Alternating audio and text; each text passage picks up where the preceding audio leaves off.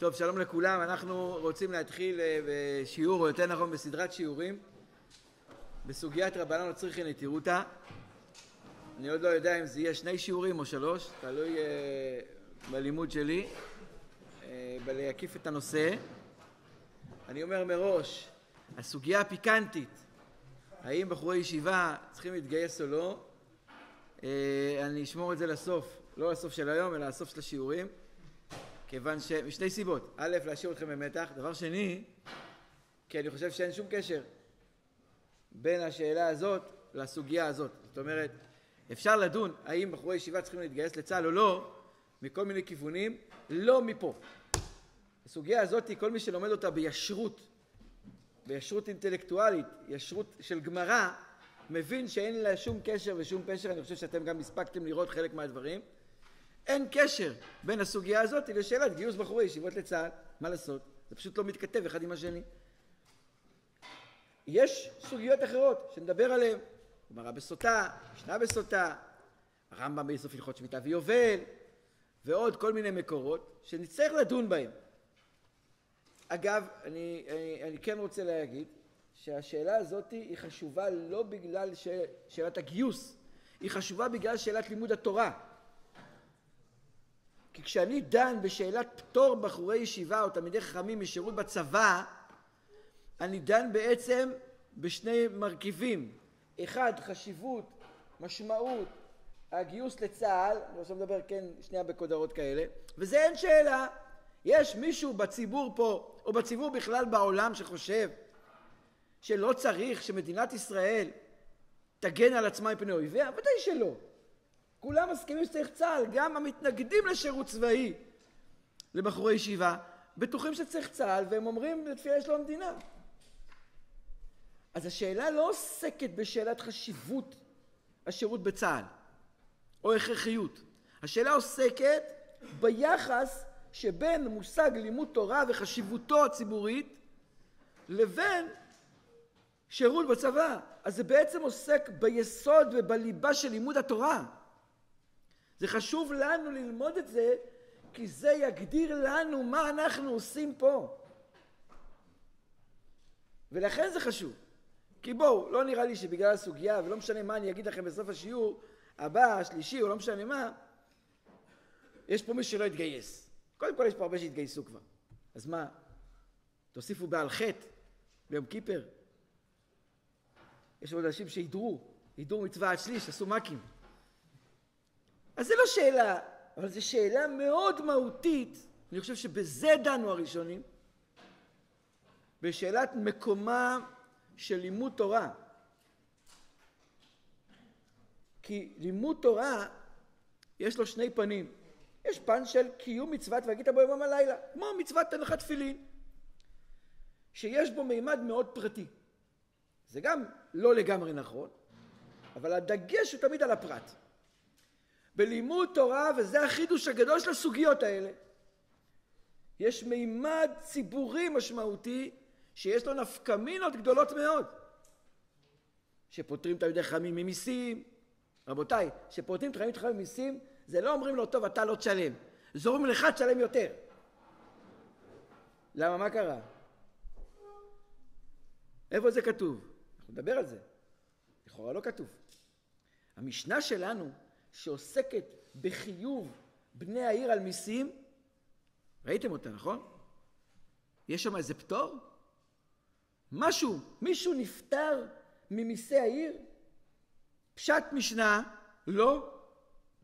וצריך לזכור, וזה גם קשור לישרות לימודית, שכשלומדים תורה צריך ללכת מהמסד לטפחות. זאת אומרת, קודם כל מה היסוד? המשנה קובעת שהנחת המוצא היא שכל בני העיר חייבים בהכל. מפה עכשיו אני מתחיל לדון על פטורים, אבל בעיקרון אין פטור. מתחדש בגמרא פטור. עכשיו צריך להבין מאיפה המקור. אנחנו נדבר על זה, לא היום. נדבר היום בסברות קצת על הפטור. אבל בעיקרון צריך לדעת שגם לומדי התורה מהותית לא פטורים מחובותם כלפי בני העיר. אלא מה? חידשו חז"ל פטור, צריך להבין עכשיו את הסברות בדבר הזה ויש לזה נפקא מינה. כלומר, אם אני מחויב ופטרו אותי, אז אני עדיין נשאר מחויב, רק פטרו אותי. וזה מאוד משמעותי. כי אם אני עכשיו, בסדר? אני מדבר עכשיו לחבר'ה שהם דחויי גיוס. אם אני מחויב לשרת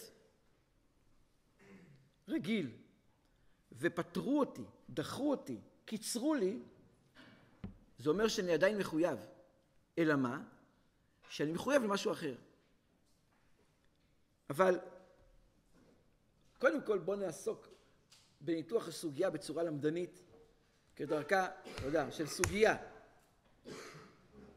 יש פה כמעט עמוד גמרא שלם, מדף ז עמוד ב' לדף ח' עמוד א', ואי אפשר עכשיו לעסוק בכל מילה פה למרות שצריך.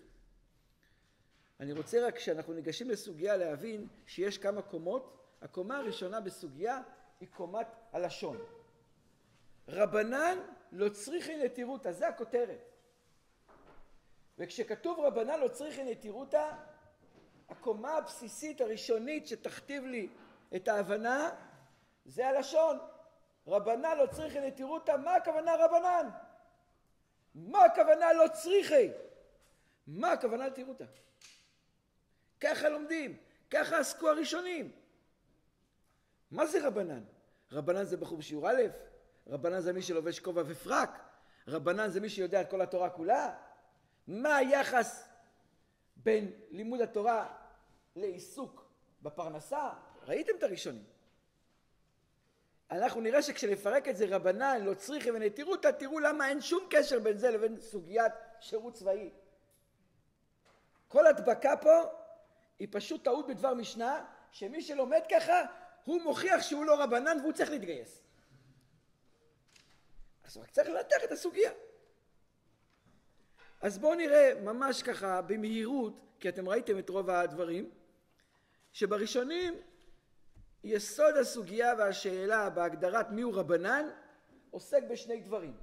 א', מה כמות או נקרא לזה איכות או רמת הידיעה הנדרשת, ב', מה בין זה לבין עיסוק בפרנסה. כלומר, המתח שבין מה מגדיר את הרבנן, ידע, כמות ידע, איזה ידע, איזה סוג ידע, ואורחות חייו של אותו רבנן, נקרא לזה. בעיקר בדגש על היחס בין לימוד התורה לבין פרנסה.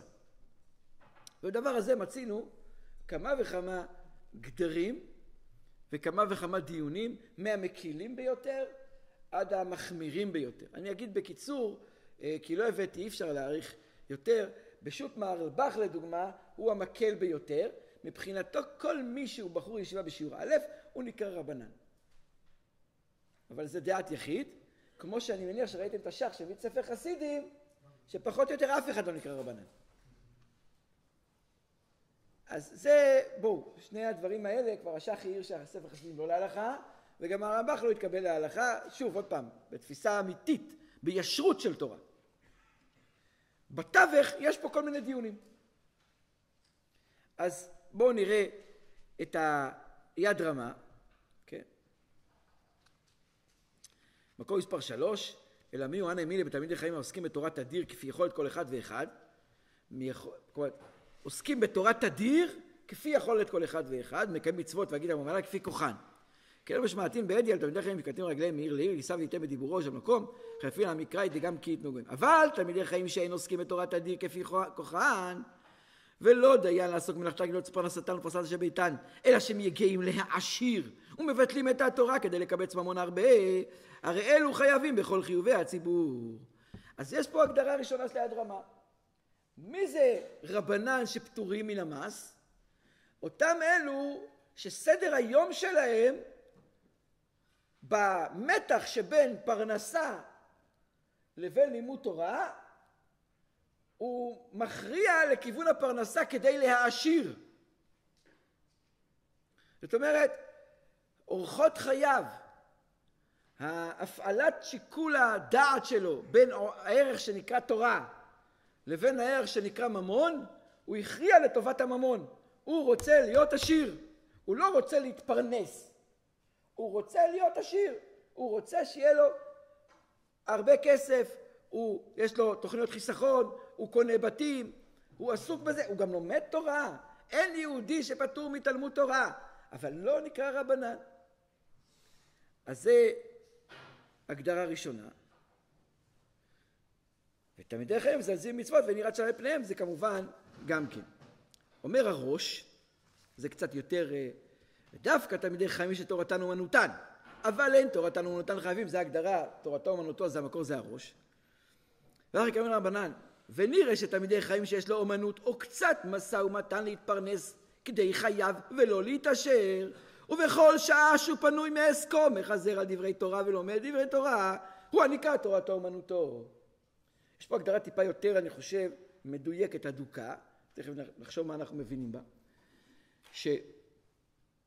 שתלמיד חכם זה לא אדם שמתפרנס מן הצדקה הוא עוסק במלאכתו, אבל ההגדרה היא כדי חייו. מה זה כדי חייו? זו הגדרה מאוד רחבה גם. כדי חייו של בחור שהתחתן הרגע, או חייו של בחור, אה, אדם שיש לו ילדים לחתן, כדי חייו קצת שונה. תסכימו איתי, כן? מה זה כדי חייו? אז קצת קשה להגדיר פה. אז לכן אולי הראש מוסיף כדי חייו ולא להתעשר. זאת אומרת, באמת בכל נקודת זמן בחיים יש כדי חייו אחר. לא הרי לכלכל אותי ואת אשתי, או לכלכל אותי, את אשתי ועוד חמישה זעתותים, או לחתן וכולי.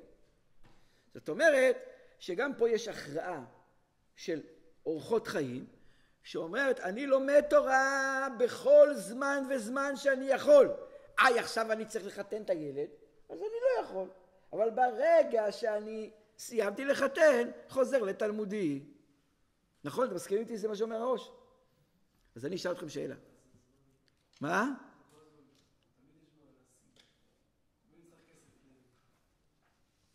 אתה אומר את זה מניסיון החיים, מהשיר? מה? לא הבנתי.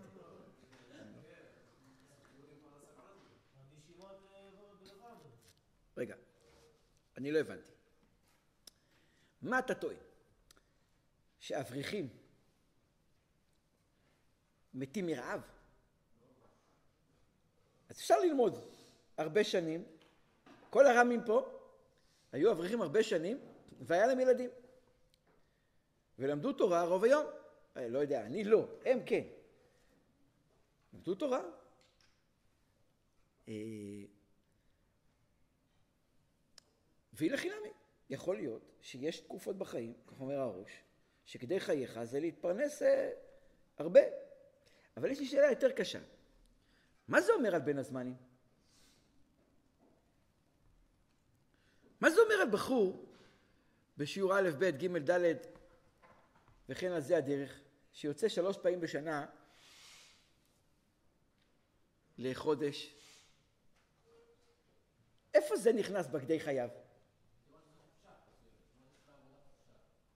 אבל, אבל, אבל, לא, מה, איפה זה נכנס? תורתו אומנותו שההתר, ככה אני שומע מהראש ומכולם, שההתר הוא רק אם אני צריך להתפרנס די חיי.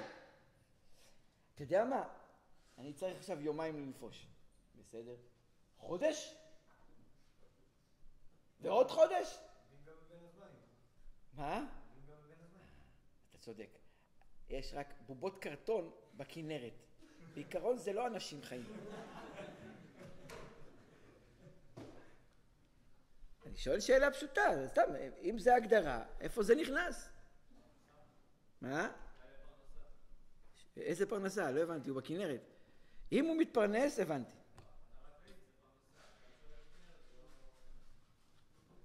אתה אומר, בבין הזמנים זה בשביל שאנשים יתפרנסו. אתה צודק, המקור בגמרא, לא תתחזו קמאי ביום ניסן ובית תשרי, זה כדי לעבוד. אבל רוב האנשים בבין הזמנים, לא יודע אם רוב, הם לא מכניסים כסף, מוציאים כסף. אני סתם, סתם שאלה פה. אם ההגדרה היא תורתו אומנותו, זה הפטור, איפה זה מתכתב עם בין הזמנים? עוד פעם, יכול להיות שאין תשובה, יכול להיות שצריך להיות ישר ויגיד זה לא מתכתב, בסדר?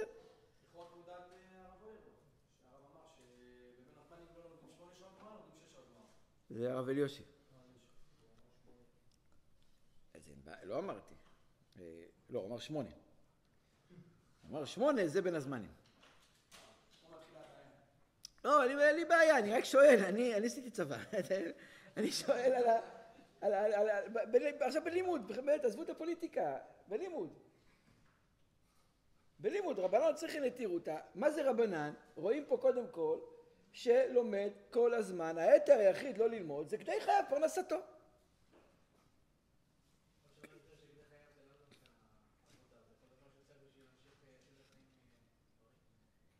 זה דרשות טובות, אבל לא כתובות בראש. כתוב להתפרנס כדי חייו ולא להתעשר. כן. לא, אני חושב שהראש רק מדייק יותר שזה כדי חייו אה, ולא להתעשר, הכוונה היא שזה משתנה מזמן לזמן. אה, תראו את שו"ת הראש, בשו"ת הראש זה יותר, יותר מפורט, רק נראה את השורות הראשונות. כל תלמיד חייב שתורתו אומנותו ועושה תורתו קבע, מלאכתו הרע יבוא גבי תורה תמיד ונובע תלה יתעסק בדברים בטלים, אך לחזור אחרי פרנסתו, כי זוהי חובתו, אין מה לעשות. הוא היה רוצה, אני חושב שפה בשו"ת הראש זה גם מסביר קצת איזה היבט נפשי. הוא לא רוצה לעבוד, רק הוא התחייב בכתובה. הוא לא רוצה שהילדים שלו אה, יסתובבו קרועי בגדים. הוא בעיקרון היה מעדיף לסעוד בית מדרש. רק חובתו. למה? כי יפה את המתורם דרך ארץ, וכל תורה שמלאכה סופה מתאר על כל התבון. זאת אומרת, הוא ממש מאלצים אותו ללמוד, לעבוד. הוא ממש הולך, סוגר את הגמרא, בתחיל אורחים הוא, הוא מצטער, הוא נפרד בצער, הוא בדמעות. לא, יאללה, איזה כיף. זה עולם נפשי. וכל עת ליבו על גרסתו, גם כשהוא עובד הוא אומר רגע רגע אני עוד מעט חוזר הסוגיה שם הוא, אני אגיד לכם נפקא מינה בהלכה, נפקא מינה בהלכה, ככה כתוב אצל משה פיינשטיין. כתוב שאדם מסיים את הלימוד, שלא ישאיר ספר פתוח, כי זה ביזיון לספר. וכדי להבטיח שנעשה את זה, אז כתבו שמי שעושה את זה, עושה ספר פתוח, הוא משכך תלמודו. לא מספיק להגיד זה ביזיון לספר, כי מה אכפת לי? אז גם uh, זה מאיים עליי, הפעם הכל חוזר אליי, זה אני, הכל קשור אליי, לא מספיק שזה ביזיון לספר. אבל כתוב שאם אדם לא עוזב את הלימוד, הוא, הוא לומד, ספציפית עכשיו הוא הלך, הוא יכול לעשות את זה פתוח.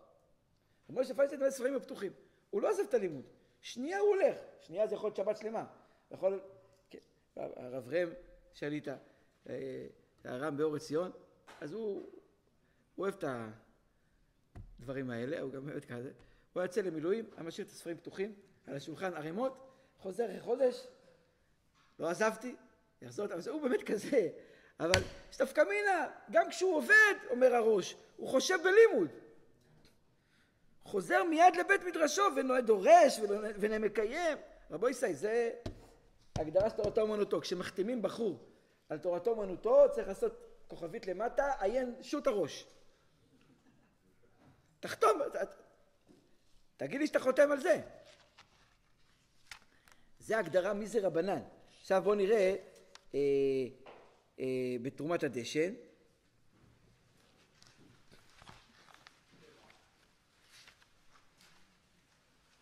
ב, ב, ב, בהגדרה, לא רק אה, אה, אה, הגדרה של דיברנו על היחס בין זה לבין אה, לבין אה, לבין ההגדרה הנפשית ביחס בין זה לבין הזה, אלא תראו בעמוד 4, בסוף תרועת הדשן, בעמוד 4 למעלה, ונירא נמי דלאו דווקא רב הנשמח להישב בראש ולדון ולהורות דהו פטור. זה לא רק הגדרה, דיברנו על הגדרה ביחס בין תורה לבין אה, זה, אלא כל תלמיד חכם בדורו שיודע לישא וליתן כשורה בדברי תורה ומבין בדעתו ברוב המקומות בתלמוד ופירושיו ופסקי הגאונים. אם תורתו אמנותו כדי פירש האשרי לאל אפילו לא נשמח להישב בראש לדון ולהורות פטור מכל מיני מיסים ותשחורת כלומר מוסיף תרומת הדשן שיש עוד גדר מה זה תלמיד חכם מה זה רבנן. זה לא רק שהוא חוזר לתלמודו והוא עוסק מעט במסחר, אלא גם ברמת הידיעות שלו, תראו מה כתוב פה.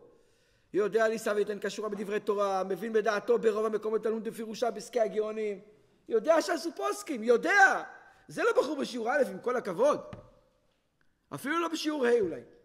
לא יודע מי נכנס בהגדרה של תרומת הדשן הזאת. אבל יש פה עוד הגדרה שהיא מאוד מצמצמת מי זה הרבנן האלה. זה גם הגדרה נפשית. הרב יוני צריך ללכת לצבא, או הרב אחד צריך ללכת לצבא, כרבני קהילות ורבני יישובים. אני חושב שהיינו צריכים לרצות שעם ישראל יגיד להם, מויכל טויבס לא צריכים אתכם שם. לא כי אתם לא חיילים טובים, לא כי אנחנו לא יכולים לסמוך עליכם בקרב, אלא כי אתם בקרב אחר. אבל נגיע לשם, כי אני חושב שזו מהפכה תפיסתית גם שלנו כציבור. גם שלנו כציבור, אמרתי עוד פעם, זה ישרת את לימוד התורה שלנו. אז, אז זו ההגדרה של רבנן. עכשיו, קודם כל צריך לחשוב האם יש עוד גדר, ולא הבאתי לכם את זה, אבל הבאתי את זה בתשובת הרדב"ז, אני חושב שהיא קשורה לזה, אבל אני אקדים, אני לא יודע אם אתם ראיתם את זה. השאלה היא האם, נגיד בחור, נגיד אדם, שהוא גם עונה לקריטריון של שיבולי הלקט, והוא גם עונה לקריטריון של הראש, והוא באמת צדיק, צדיק, כמו שאמרו על הרב ליאור, כולו חודש חוץ מ... כולו קודש חוץ מחודש, וכל הוורטים שהיו. האם יש עוד גדר? ויש, אני חושב שמבחינת הישרות, יש, צריך לחשוב על עוד משהו.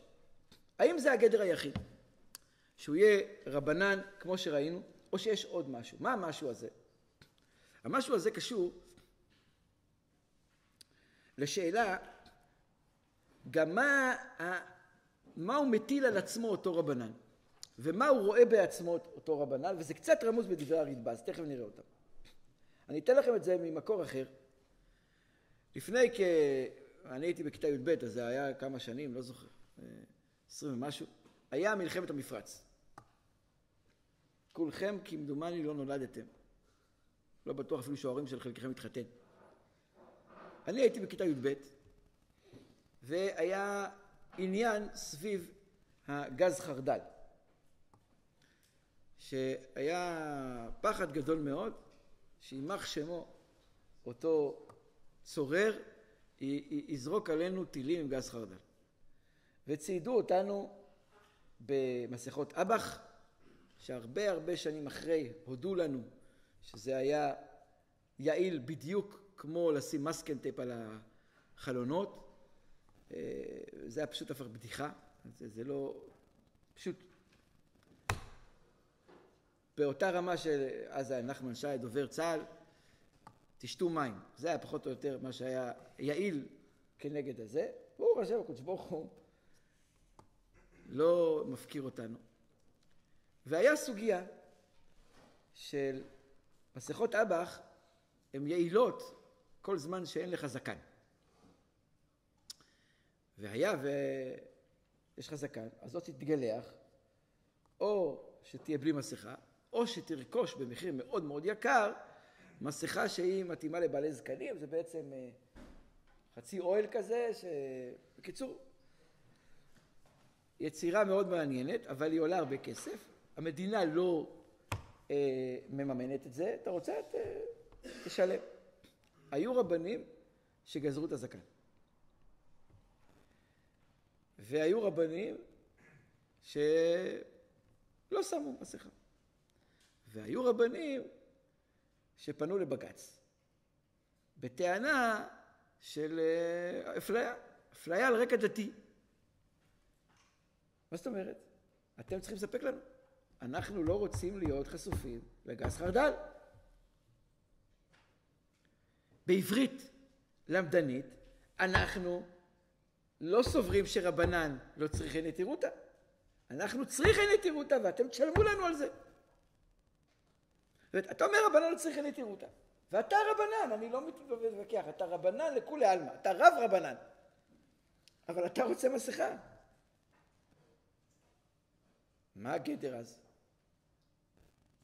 כלומר, בשפה הלמדנית, האם רבנות צריכים נטירותא זה זכות של הרבנן או חובה של הציבור? הרדב"ז במקום מספר תשע, הוא אומר דברים מפורשים מאוד. שאלת ממני הודיעך דעתי על מחלוקת אשר נפל בירושלים בין הבעלי בתים ובין החכמים על עניין פריאת שומרי השכונה. יושבים יהודים בשכונה, מוקפים בערבים מכל עבר, פה מדובר על גנבים, תכף תראו בלשון התשובה. מי משלם לשומרים? כבר ידעת דמרים ואתה אמר רב יהודה הקולג לגביו ואפילו מיד אבל רבנן לא צריכים לתירותא. וזה מוסכם לא נפל במחלוקת. אבל במסה מוטל לקרקפא דגברא ובדיקה פלוגתא אם חייב הציבור לפרוע באדם או לא. זה דיון שנדון בו בהמשך. כבר נהגו לשמוע על המקל ופורין הכל. אבל בנידון דידן אפילו אומרים שאין לך חיים חיים לפרוע כסף גולגולתא מודים הם דחיים וחיים לפרוע בשמירות. שימו לב מה כתוב פה.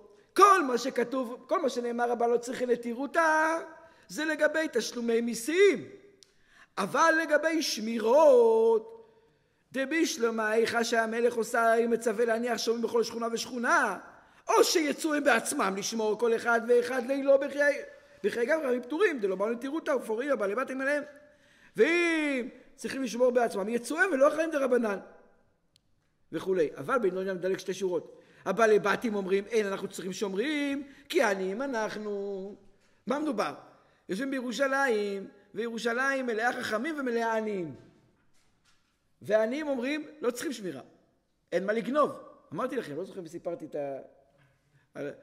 הערך שלהם מאסטרפולי שהוא קם בלילה והוא ראה גנב הגנב נבהל אמר לו לא בוא אני אעזור לך לחפש אני כבר עשרים שנה מחפש משהו בבית לא מצאתי כלום בוא תעזור לך לחפש אז העניים אומרים לא צריכים שמירה שיבואו הגנבים, יראו שאין מה לגנוב. והחכמים צועקים לאמור, תעמידו שומרים! והם בעצמם מודים דיברנו נתירותה. היש מן הדין או מן הסברה שיחופו את בעלי הבתים לעמוד שומרים ולא יסייעו מים לחופם אותם לקוצר וזה לא אמרה, אתה יודע, העולם. אתה אומר שאתה צריך שומר, הנה, תלך תשמור. יעלה על הדעת, בסדר? ש... אה, לא יודע, אני לא בקיא, ניקח איזה שכונה בבני ברק. יפנו לפיקוד העורף ויגידו רבו ישי, אני יודע שיש לכם לחץ עם כיפת ברזל, אל תשימו אצלנו כיפת ברזל. שלא ישמור על העיר. רבנו צריכים, תראו את החזוני שאמר שלא ייפול פה טיל, אנחנו מוותרים על הכיפת ברזל. זה קרה? מישהו שמע את זה? אומר הרדב"ז, בכגון דא, שאתה בעצמך מודה שאתה צריך שמירה, תשמור או תשלם, מה אתה רוצה ממני? ואמרתי לכם את זה. זה היה סיפור אמיתי, לא, פה הריבה זה היה אמיתי, אבל היה סיפור אפילו יותר לפני לא הרבה שנים, בקריית ספר, שזה אה, יישוב גדול מאוד של בני תורה, שהיה ויכוח. בזמנו הצבא החליט שהוא לא שומר על יישובי ספר, אלא אם כן האזרחים שותפים בשמירה. כי פשוט היה מחסור בכוח אדם, אמרו רבותיי, אנחנו מוכנים לשמור חצי חצי, אגב היה פה גם כן ניסיון כזה אה, ביישוב אה, לשמור מגנבים, ואמרו התושבים שצריך אה, צריך, גם, גם תלמידי הישיבה ישמעו. שאלו אותי אם אני מסכים, בעד, אמרתי כן. מה קרה בסוף? רק התלמידים בישיבה שמעו. אז זה יתבטל אחרי שבוע. אמרתי, אני מוכן להיות שותף, לא מוכן, כאילו יש גבול. בקיצור, אז בקריית ספר ככה היה. הצבא הודיע שהוא לא מוכן לשמור, אלא אם כן יש רשימת שמירה. אמרו, בסדר, נשמור, צריך שמירה. קמו אברכים ואמרו, אתם תשמעו, אנחנו אברכים, רבנו לא צריכים להתיר אותם. אמרו הבלבטים, שהם היו פעם אברכים, אנחנו פראיירים, אנחנו בלבטים, אנחנו לא... לא משחקים משחקים. אתם תשמרו ועוד איך. לא, כן, רבנו צריכים לתירותא. סברות עפו באוויר, הלכו לרב אליושי. מה הרב אליושי אמר? בוודאי צריכים לשמור. למה? תשובת הרדב"ז, אתם לא רוצים שמירה, אתם רוצים שמירה. אתם מבקשים על ידי לשמור, תשמרו גם אתם.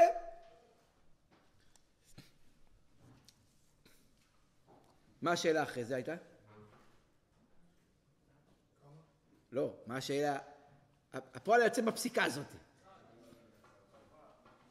מה אמר רב אלישיב? הנה חינמי, צריכים ללכת. אז למה הרב לא אומר? כי לא ישמעו לי.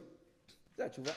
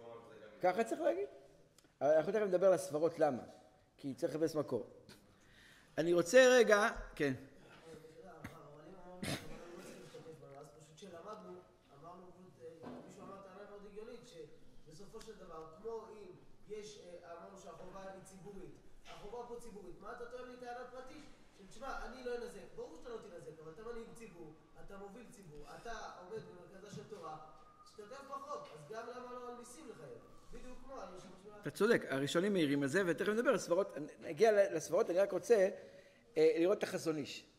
החזון איש, אבי העדה החרדית ב- ב- בישראל, הוא שואל שאלה פשוטה, מקום מספר שמונה. ראשית כל, וגם הדיברות מוישה כותב את זה, מאוד מוזר הבנות צריכים לתירותה, כי זה סותר כלל מאוד פשוט, שראינו בברכות דף ל"ה, שאין סוחרים על הנס.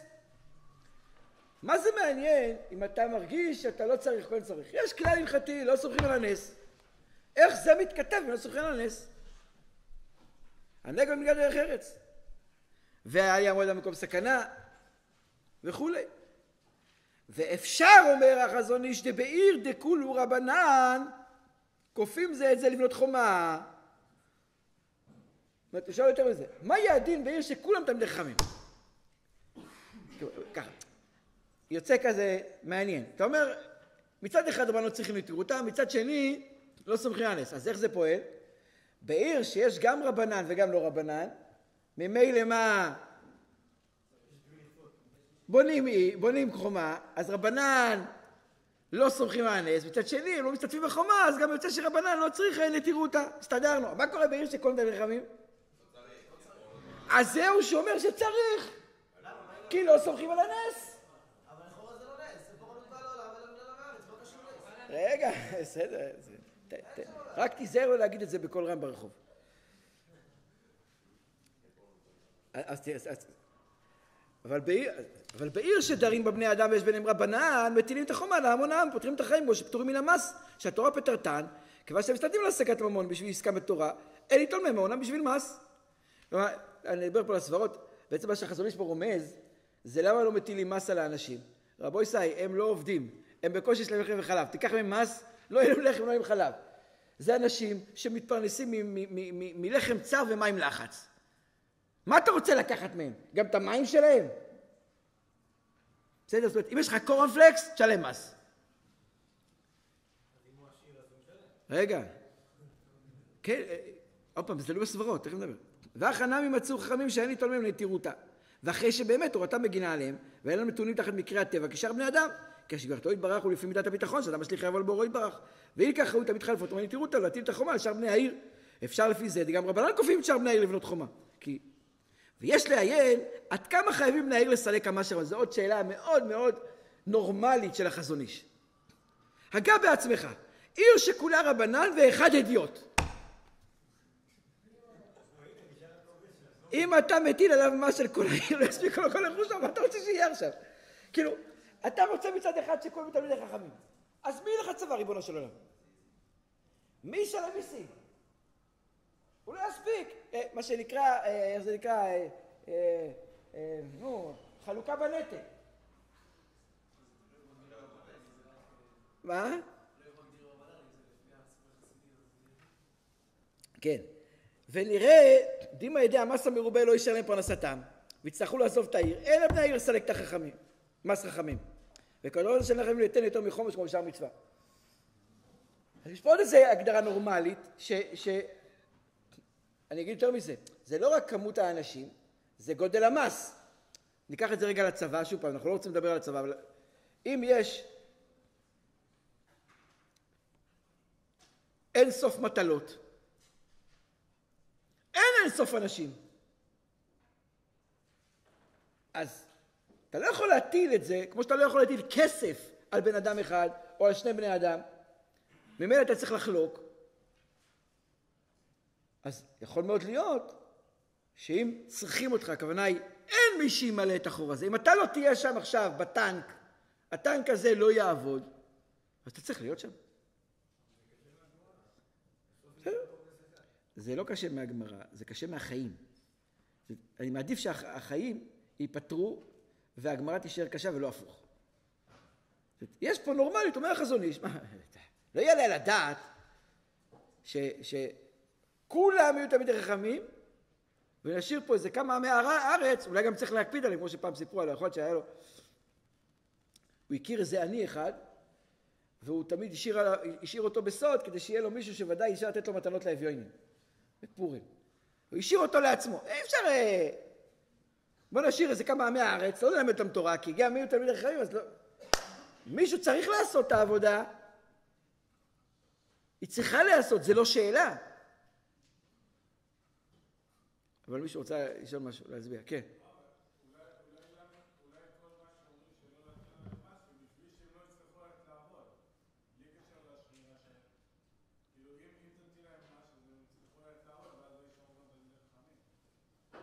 אז אתם נכנסים לסברות. אז בואו בוא רגע נעצור רגע, אני רוצה להציע רגע כמה סברות, בואו נחשוב ביחד, למה לפתור תלמידי חכמים ממיסי העיר, ממיסי החומה. אז אחד, רבנו צריכים לתירותא, אפשר להסביר שמה זה? כמו שאמרנו פה, שרבנו צריכים שמירה, כי הקדוש ברוך הוא שומר עליהם, כי יש להם כיפת שמיים על ראשם ולא כיפת ברזל, ולכן הם לא צריכים לשלם, כי הם לא נהנים, הם לא צריכים לשלם. מה קשה מזה? שלא בטוח שחובת התשלום היא פר ההנאה. אמרתי, דיברנו בשיעור, עם, עם שיעורי. אם אני, אין לי ילדים במשרד, בגיל חינוך, אז אני לא צריך לשלם על, ה, על הגן? הארנונה שלי הולכת לגן גם. אם אני לא, חס שלום, יהודי לא רואה, אז הוא לא צריך לשלם על הגינה הציבורית, על, על הגינת נוי, כי הוא לא רואה? הרי הארנונה מתחלקת אתה משלם מיסי עיר, ומיסי העיר משרתים כל מיני. אני לא אוהב כדורגל. אני נגד כדורגל. אז אני יוריד מעצמי, נניח ש-10% הולך לקבוצה העירונית, אז אני אוריד 10% מהמיסים? אולי כן, אולי לא, אני לא יודע. לא בטוח בכלל, ש... לא בטוח בגמרא, שמיסי העיר הם הולכים פר ההנאה שלי. יכול להיות שמיסי העיר הולכים פר מה? העובדה ש... אני חלק מהעיר, זה חובותיי בעיר. אגב, למה זה נמצא פה בסוגיות? כי זה שאלת השותפין, אנחנו בפרק של שותפין. כלומר, שאלת השותפות, מה היא מטילה עליי? ויש פה דבר גדול, קצת נוגע בניגון שדיברנו אתמול בהתוועדות, שיש חובת שותפות גם אם זה לא חוזר אליי הפרטי. גם אם אני לא נהנה מזה ולא ייהנה מזה. אני נגד בני עקיבא. אני אה, דוגל בשומר הצעיר. אז אני עכשיו לא אתן מס כי חלק מהמס הולך לבניין בני עקיבא. אז הסברה הזאתי שהיא קיימת, שאני לא נהנה, אני לא צריך, התורה מגינה עליי, אז אני לא צריך לשלם מס אה, אה, על חומת העיר, יש בה בעיה הסתברותית, בעיה סברתית. זה סברה אחת. למה לפתור? סברה שנייה למה לפתור מה? מי רוצה להציע?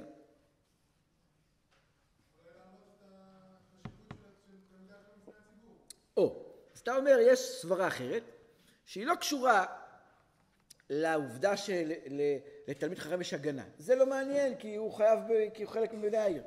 אבל יש חיוב על בני העיר להעלות על ראש שמחתם את התלמידי החכמים. יש הגדרה כזאת בעם ישראל, שאנחנו מעריכים בעין את לימוד התורה. איך אנחנו עושים את זה? אנחנו אומרים לתלמידי החכמים, שבו תלמדו. אנחנו מכבדים אתכם. אנחנו לא רוצים שאתם... אגב, זו סברה שלנו, בציבור שלנו, רוצה להגיד זה?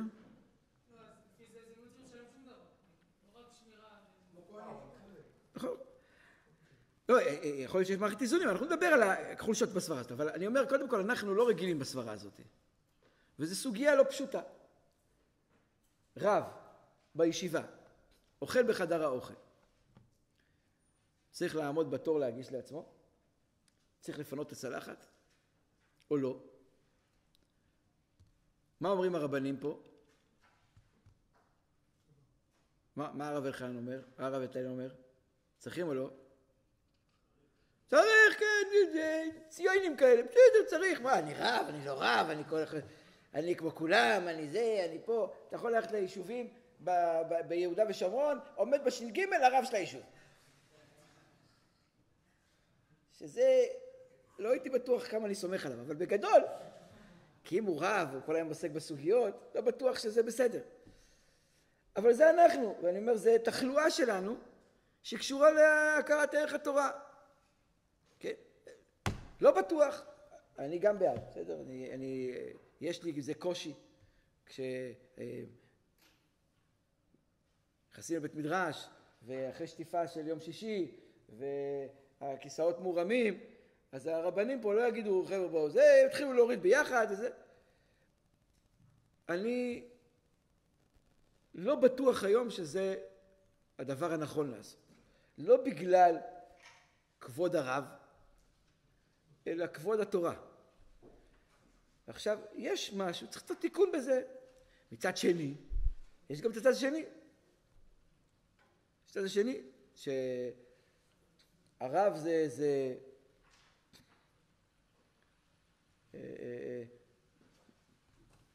כלי זכוכית יקר שאסור לגעת בו, הוא יושב בוויטרינה ולא תיגע בו יד, שמים אותו במזרח ועוטפים אותו במין אה, תיבת זכוכית. גם זה לא בטוח שזה נובע מכבוד התורה, אולי כמו, כבר ריחוק התורה. המתח הזה הוא מתח מאוד מאוד, היום לדוגמה, אני יכול להגיד לכם, בזמני לדוגמה, מעולם לא פנינו לרב בגוף ראשון נוכח. לא היינו מדברים איתו, אז מה אתה אומר, מה אתה חושב, אמרת, שאלת. יש לזה מקורות אגב, משניות מפורשות, תוספתות מפורשות, שפונים או בלשון רבים או בלשון נסתר וכולי, כידוע, כן, הרב אמר וכולי. אה, היום זה מאוד לא מקובל לפנות ככה, מקובל לפנות כמו סחבק. חבר, לראש הממשלה קוראים ביבי. כאילו, בואו. שם של כלב.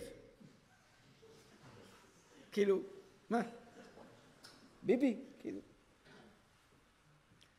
אבל זאת האמת, אין כבוד להיררכיה, אין כבוד לכלום. אני, אני ואתה בגובה העיניים. וזאת שאלה גדולה. רגע, אני רק אומר שזאת סוגיה, ופה יש פה מקום לדון בזה. אני מודה על האמת ששואלים אותי לפעמים, הרב אמר, אז אני לא סגור לגמרי אם מדברים אליי, עליי או על הרב קוק זצ"ל. לפעמים אני שואל אפילו. כאילו, לפעמים אני שואל. אפשר לחשוב, אני לא יודע להגיד לכם, אבל זו שאלה טובה. מה זה פועל? יש ברב בעינייה כמה מקומות כאלה, כידוע בברכות, אה, בתחילת שבת, על רב יהודה, שרצה לעלות ל... הרב זרע רצה לעלות לארץ ישראל, ורב יהודה אמר שכל העולה עובר בעשה, אז הוא התחמק ממנו. הרב מדבר שם באריכות, תסתכלו, הרב, הרב קוק, הפעם אני אומר, הרב קוק, אה, שם סוגיה זה, אבל רציתי לשאול משהו, כן. יש אה, לפי הפסוקים, כאילו, טענה שגם לא מכבוד תורה, מה שאמרו לה בארמית. רגע, רגע, רגע, אני, עוד לא גמרנו ספרות. זו סברה נוספת. שהציבור צריך לכבד את התורה, לייקר את התורה. מה זה אומר? אתה לא הולך לעשות את העבודה הזאת. סברה שנייה. יש מקום לדון בה. אני חושב שזה מקום חשוב, שוב, לערך לימוד התורה. וערך קיום התורה במדינת ישראל, בעם ישראל. מה רצית להגיד עכשיו? עוד סברה. אה, לפי הפסוק ששאולה לומד בארמית, משמע, א', שהציבור אשם בזה שיש חובות כלשהם אחרת, היה קבצם ברגע. ב', שהרבנן כבר הורידו מעצמם את המיסים, וגם מכלל הציבור, שביחד להפחית. וג' שרבנן עוסקים במלאכה של לנסות לתקן את הבעיה הזו, גם ככה. אוקיי. אתה תביא להם ניסים נוספים, מה זה? אז אני רוצה שנייה... אה, אהרון אוכל סחוג, אז הוא חריף, אני שנייה אוכל גפילטע פיש, שנייה יותר למתן את מה שאומר ולהכניס את זה לכלים הלמדניים, הוא צודק. יש עוד סברה, הסברה אומרת שיש חלוקת נטל. התלמידי חכמים הם מגינים על העולם, לא רק הם פותרים את הבעיה, הם עסוקים בזה שלא יהיו אויבים, הם עסוקים בזה, כן, סיפור ידוע על החפץ חיים, אתם זוכרים? מצרים התרים, היה צורך לעשות בית חולים בעיר, ברדין, הוא היה עסוק מאוד בנושאים האלה, והוא הביא את כל השומרים ואמר להם, וכל השירים, כמה מיטות אתה תורם, כמה מיטות אתה תורם, תרמו, תרמו, תרמו, ואז הם עושים סיור בישיבה, ברדין, רואים ציבור גדול, יושבים לומדים, אז שואל אותו העשיר, נו נו הרב, וכמה הם תורמים? אומר, הם תורמים יותר ממך. אומר לו, אה, באמת? כן. הם דואגים שלא יכולים. הם דואגים שלא יכולים. אומר אהרון, מה אתה רוצה ממנו? הוא ידאג שלא יהיו אויבים, יש חלוקה בנטל. אתה צריך לשמור, יש צד כזה, אבל יש חלוקה. יש אנשים שצריכים לאחוז בנשק, יש אנשים שצריכים לבנות חומה, יש אנשים שידאגו שלא יהיה גנבים. אתם יודעים, פה לידינו יש את אלה שלא באו לישיבה ללמוד. בכלא. מדינת ישראל מסבסדת את בתי הכלא ב-15,000 שקל בחודש פר אסיר. וכמה בחור ישיבה מקבל? לא מקבל. כמה ישיבה מקבלת עליו? 430 שקל. פעם אמרתי בכנסת, רבותיי, תנו לי חצי, תנו לי חצי מהסכום, אני מרוקן לכם את בתי הכלא. יש צד כזה, יש עוד סברה. לפתור את תלמידי החכמים, כי אנחנו לא פותרים אותם. הם עסוקים, הם עסוקים בהגנת העיר. רק עסוקים בהגנת העיר בצורה אחרת. אז יש שלוש סברות שלכולם צריך אחר כך בסוף אנחנו צריכים לחזור לשאלת המקור. כי מה שפה קורה, שאין מקור. תשימו לב, דרשות זה נחמד מאוד בוורטים. אני חומה... בואו רבותיי, המשנה כותבת שכולם חייבים. מאיך התהיתי לפתור? עכשיו עוד פעם, זה לא לפתור, זה להכניס יד בכיס למישהו אחר. רבנן באים ואומרים, חבר'ה, סליחה, אתה תשלם יותר, אתה תשלם יותר, והוא לא. בואו נחשוב רגע, אנחנו בתוך בית מדרש, באווירה כזאת נחמדה, הכל סבבה. בואו שנייה ניכנס לכיס שלכם. בואו רגע ככה, תנו. בואו, בצבא. איך הרגיש, בואו יספרו החברים בצבא פה. כשהיה צריך להישאר שבת, או להישאר ראש השונה, אומרים לך, הוא, הוא, הוא נשוי. מי מתנדב לוותר לו? אז יש צדיקים. אבל מה אתה מרגיש? בעיה שלי שאני עומד להתחתן, בעיה שלך שהתחתנת. אני צריך לצאת. האמת עכשיו, זה לא עובר בראש. בטח זה עובר בראש. זה לא חוכמה לקרוא ולהגיד, בואו, תחשבו עכשיו, יש פה ביישוב, יש מיסי יישוב, יש מיסי יישוב. ואומרים, טוב, את הרמים של הישיבה לא גובים. אברכים לא גובים. אה, אה, אה, עכשיו, מישהו צריך לגבות. אז במקום 100 שקל בחודש, 200 שקל. מישהו זה עובר לו בגרון? איפה? יש כאלה, כן, יש שעבר לו בגרון. אבל מצד... מאיך התהייתי לעשות את זה? איפה הפסוק? איפה המקור? הסברות זה בסדר, אמרנו שלוש סברות, ואמרנו מה החולשות של כל סברה, אבל בסוף צריך לעמוד על נקודת המוצא של הדברים. אז, אז בזה אני ארצה אה, לעסוק גם בפעם הבאה. אבל אי אפשר בלי לראות את הדיברות מוישה במקור, בעמוד 6, ומשה פיינשטיין, אצלנו בסוגיה. הדה אמר, וישלח כשרונה צריכים לתירות, המלך צריך לתת להוצאת חומת העיר, לכאורה תמוה, ודאי אסור לסמוך על הנס, וגבנה צריכים לעשות חומה. ופשוט שאם הוא עיר שכולם תלמידי חיים צריכים להיות חומה. פשוט לא. שחומה זה צורת העיר. גם אם כולם תלמידי חכמים. והם לא צריכים נטירותה, אבל יש צורה לחיים. ולא סומכים על הנס. זה לא שאין נס. אבל אני חי צורה טבעית. וכל שכן, בימי דינא שהתלמיד חכם יראה לסמוך על תורתו, שמא יגרום החטא. זה לא עדיף הצדיק, והתלמיד חכם יותר גדול מיעקב אבינו שהיה שמא יגרום החטא. ואף שלבד תורתו וצדקתו דור הובטח מהקדוש ברוך הוא שימרו בכל מקום וישיבו בחזרה בשלום מכל מקום ירא שמאחר שהובטח חטא באיזה דבר. בפרשת, בפירוש החומש פרשת וישלח. ולכן פשוט שכל תלמידי חיים אסור לסמוך על הנס. ומחויבים לעשות חומה ואיך פותרם ריש לקיש?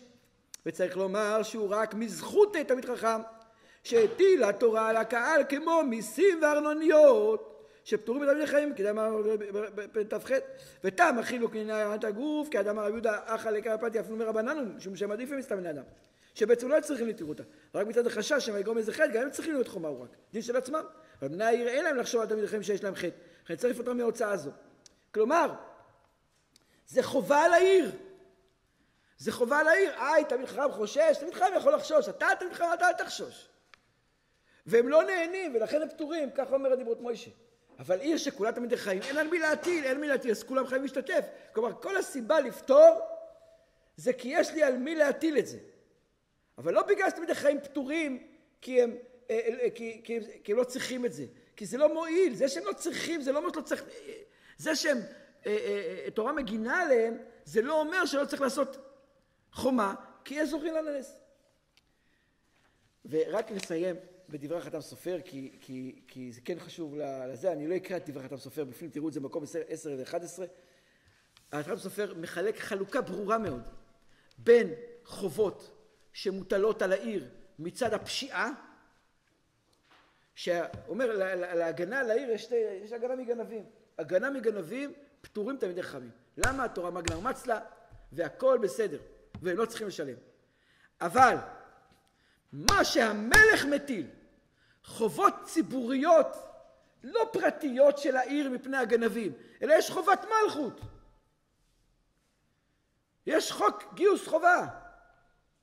אומר המקום מספר 11, אם אתם רוצים לראות אחר כך, שמירה כדרך שמלכות נשמרים מלכויות אחרים, קרי צה"ל, גם תלמידי חכמים חייבים. וכל מה שלא צריכים זה שמירה על העיר מגנבים, מפשיעה. דרך העולם שמדינה מגינה על עצמה מאויבים. רבותיי, הרי לא יעלה על הדעת, אני אומר, נסכם את זה רק בסברה, ואנחנו לא, לא ניכנס לסוגיה הזאת עכשיו. כל אחד מבין בשכלו שתלמידי החיים לא צריכים את יתירותה, לא אומרים כשיש עכשיו איום ממשי. לא צריכים לתרום אותה באופן כללי, לא צריכים לתרום אותה מגנבים, יש להם הגנה רוחנית, אבל אם עכשיו בא איזה מחבל מנוול, עם אקדח, עם רובה, עם סכין, ונכנס לתוך ישיבה, לומדים תורה, מישהו יגיד לו צריכים לתירותא? לא על זה דובר. אומר החפץ חיים, אומר, אומר חתם סופר, כשמדינה מגינה על עצמה מאויבים, זה לא סברות, זה הצורה, ועל זה ודאי שהם צריכים. כן. זה הוא מוכיח את זה, לא יודע, לא, תראו את הדברים בפנים, הוא, מתוך הגמרא הוא מגיע לזה. ומתוך הסברה ההגיונית זה ברור גם, פשיטא. ולכן, אני, אני רוצה לסכם את זה רגע. בשבוע הבא נדבר אולי על מיסים באופן כללי ונעשה את החלוקה, ושבוע אחר כך על באמת על הגדרים, או, ש, או שנעשה שבוע הבא רק על כל המקורות, ה-so called מקורות של פטור תלמידי חיים משירות צבאי, נוכיח שהכל שקר ורות רוח, ואחר כך נגיד את הסיבה האמיתית למה יכול להיות שצריך לפתור. אבל פה זה ברור שהסוגיה הזאת אין לה קשר עם הסוגיה של המציאות שלנו. א', מדין רבנן, ב', מדין לא צריכי, ג', הגדרת המושג נטירותא, ד', כי הסוגיה הזאת לא מדברת בכלל על הסוגיות הביטחוניות מול אויבינו, כמו שאומר חתם סופר, אלא מצד מיסים. זה בכלל מופקע מסברה, ולכן להתעלות בזה זה חלש עד כדי לא רלוונטי. יש פה אמירה מאוד ברורה, שנחזור אליה בהמשך, מהסברות שהעלינו עכשיו, לדבר על המחויבות העמוקה של עם ישראל ללומדי ומוסרי התורה, מצד אחד, מצד שני המחויבות העמוקה של לומדי ומוסרי התורה לעם ישראל. רוצה לומר, מה שאנחנו עושים פה עכשיו זה לא עניין פרטי, זה עניין ציבורי, לאומי, עולמי. וזה נקודת החידוש. איך זה מתכתב במציאות של היום ועם כל המקורות, זה בעזרת השם נעשה ברשותכם בשבוע הבא.